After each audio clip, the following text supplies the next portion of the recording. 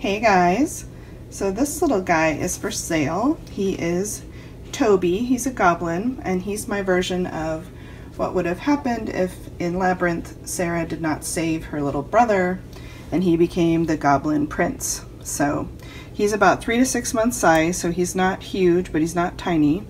He has sculpted ears and a sculpted nose, and his hands and feet are just regular little hands and feet.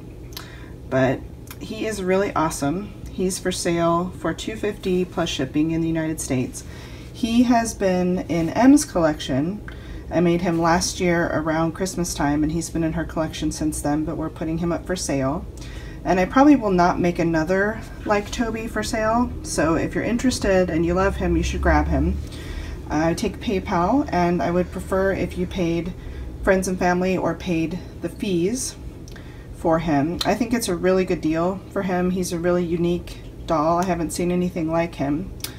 And uh, yeah, I'm sad to see him go, but as you know, our house has a ton of babies and we're always making new babies, so we just really need to make room is basically why he needs a new home. But he's very loved and he's a very interesting little guy, so if you think that you would like to have a goblin prince, then you can contact me at heytherespookyface at gmail.com.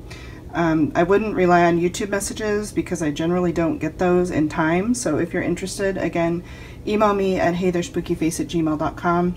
May be able to do a short layaway. Um, we'll just have to see, but um, yeah, or 250 plus shipping in the United States. So anyways, if you'd like a Toby, let me know. Bye!